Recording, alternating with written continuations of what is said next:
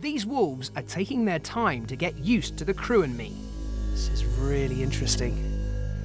As they're approaching, they're kind of chatting to each other, just kind of figuring out who's going to be the first to be allowed, probably to come in and talk to Tess, not to me.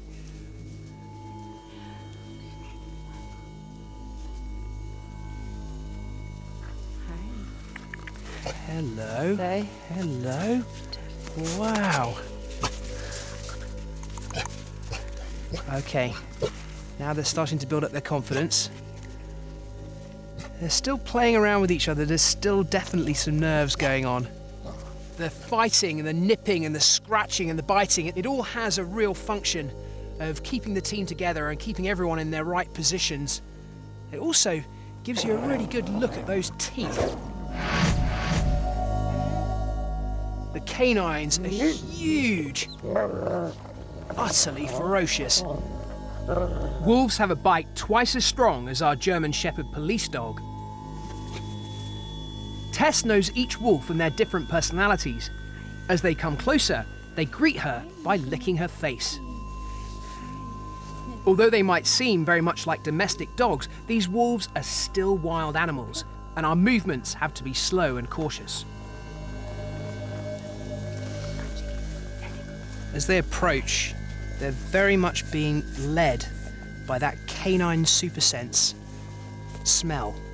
You can see what comes in first. Always the nose, always sussing things out with that incredible sense of smell first. 2,000 times more powerful than ours. That phenomenal sense of smell is used to track prey from over a mile away in the wild. They're gradually starting to get more and more confident, checking out Nick the sound man and Johnny the cameraman, getting closer and closer. But as they approach, I mustn't let myself forget how deadly these animals really are, and the wolves are quick to remind me who's in charge. Go on, look. Ooh! I think I might have moved a little bit too fast there and just got snapped at. Just to show that there's nothing in my hands.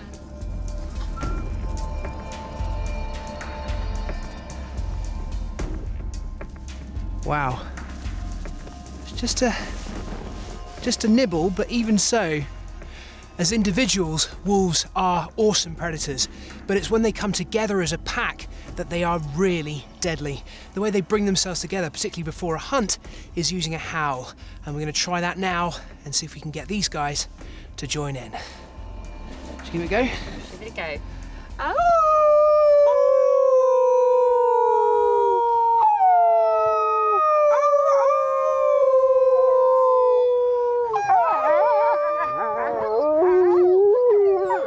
It's working.